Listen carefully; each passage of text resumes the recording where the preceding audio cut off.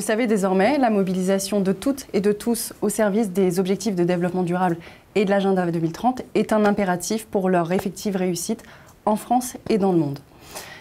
Mais qu'est-ce que ça veut dire se mobiliser? Qu'est-ce que ça veut dire euh, effectivement être acteur des objectifs de développement durable et de l'agenda 2030 C'est une question évidemment centrale parce que la mobilisation ne se dégrade pas en ce qu'elle appelle les acteurs, euh, la société civile de manière générale, le grand public, à se sentir à la fois en capacité et en légitimité à se mobiliser.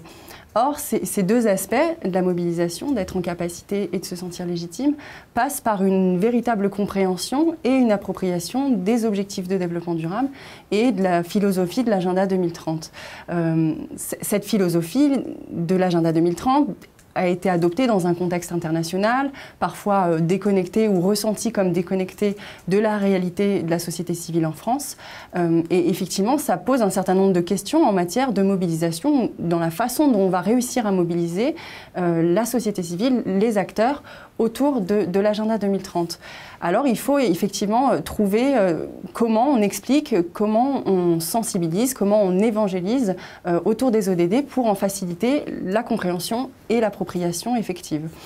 C'est euh, tout le sens de, ce MOOC, évidemment. C'est le sens d'un certain nombre d'actions qui ont été et qui sont en train de se, dérouler, qui sont portées euh, par différents acteurs, des acteurs institutionnels, euh, le ministère de la Transition écologique et solidaire, le ministère des Affaires étrangères, par des acteurs associatifs, par des acteurs aussi privés, qui portent les objectifs de développement durable et l'agenda 2030 et qui vont vers leur, leur cercle d'acteurs, de parties prenantes, en parler et effectivement euh, leur expliquer. Et puis c'est effectivement le sens d'une action euh, qui est en train de, mener euh, le comité 21 qui s'appelle le Tour de France des objectifs de développement durable et qui a vocation, là encore, à expliquer et à porter le message de l'agenda 2030, de cette ambition nationale et internationale dans les territoires régionaux, dans un contexte d'une France décentralisée. Alors, euh, c'est quoi euh, ce Tour de France des objectifs de développement durable? Eh bien, ce n'est pas un Tour de France qui se déroulera à vélo, c'est un Tour de France qui se déroulera sur euh, plusieurs années et qui a été imaginé à partir de plusieurs constats. Le premier constat, c'était qu'en 2016, fin 2016, alors même que ça faisait un an et demi que les objectifs de développement durable et l'agenda 2030 avaient été signés par la France et par la communauté internationale,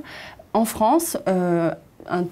tout petit noyau d'acteurs et, d'organisations était effectivement au fait, euh, commençait à se mobiliser, mais c'était euh, très faible et très loin de ce qu'il aurait fallu que ce soit à, euh, un an et demi de, leur adoption, et alors qu'on est à un horizon 2030. Donc ça, c'était le premier constat, c'était effectivement une connaissance, une appropriation encore très très faible en France des objectifs de développement durable. Le second constat, c'était qu'effectivement, il y avait un certain nombre de choses qui étaient très bien faites en matière de développement durable, qui avaient vraiment contribué à changer euh, les choses, à changer les mœurs, à changer les pratiques euh, en France, dans les organisations et les territoires, et qu'il fallait, certainement euh, les valoriser, les promouvoir, repartir et capitaliser de, de toute cette matière, mais aussi peut-être les regarder au prisme d'un référentiel euh, nouveau qui est euh, effectivement euh, cet agenda 2030. Pourquoi? Parce qu'il faut aussi parfois regarder ces actions, les évaluer au-delà de, ce qui se passe seulement sur le territoire. On est dans un monde globalisé aujourd'hui. Nos, actions ont parfois aussi des impacts euh, dans d'autres pays, à l'étranger. Et de pouvoir aussi évaluer euh, l'impact, la, pertinence de ce qui se faisait, qu'on considère comme positif en France, au prisme de l'agenda 2030, euh, ça a un intérêt évidemment important dans un contexte où un certain nombre de ces démarches peuvent parfois s'essouffler. Et c'était là le troisième constat, c'était de se dire que finalement les objectifs de développement durable pouvait apporter un nouveau souffle à ces dynamiques euh, territoriales de développement durable, à ces dynamiques euh, organisationnelles qui parfois pouvaient, euh, effectivement pâtir d'une certaine longueur, de voir toujours les mêmes acteurs se mobiliser. Avec l'agenda 2030, avec les ODD, cette philosophie telle qu'elle est amenée, mais aussi les visuels, tout ce qu'elle porte en termes de transversalité, pouvait aider à une redynamisation de ces, de ces, initiatives et de ces projets dans, dans les territoires français. Donc ça, c'était effectivement ces trois constats euh, qui, ont, été euh, dans le sens euh, de la, de, la création, de, de l'accouchement du projet Tour de France des objectifs de développement durable. Alors il y, avait aussi un, contexte très particulier en France euh, fin 2016 puisqu'on a vu euh, évoluer un certain nombre de choses en matière de décentralisation euh, avec des nouvelles régions et des nouvelles très grandes régions et effectivement des territoires qui parfois se, ressemblaient peu ou en tout cas se connaissaient peu. Et on s'est dit que le Tour de France des ODD pouvait aider à trouver un dénominateur commun qui est le développement durable pour fédérer ces acteurs autour d'un sujet qui les concerne tous sur un territoire précis. Donc voilà euh, le, constat, les constats du Tour de France euh, des ODD et de, l'engagement du Comité 21 à aller vers, euh,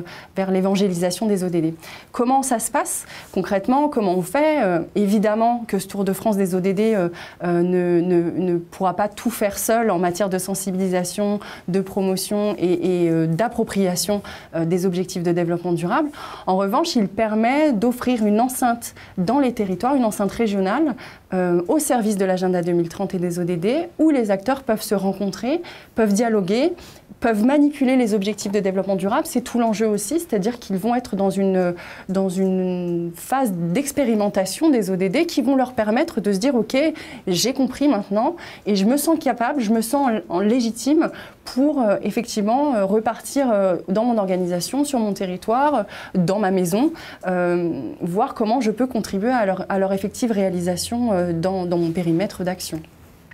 il y a effectivement euh, donc euh, cette, cette, enceinte de, rencontres. L'objectif du Tour de France, c'est aussi de, permettre de créer des partenariats, parce que effectivement, c'est au cœur de la réalisation de l'agenda 2030, ces partenariats. Mais ces partenariats, c'est comme la mobilisation, ça ne se décrète pas, et les acteurs peuvent parfois, même sur un territoire commun, ne pas se connaître, ne pas savoir ce qu'ils font en complémentarité ou en similitude, et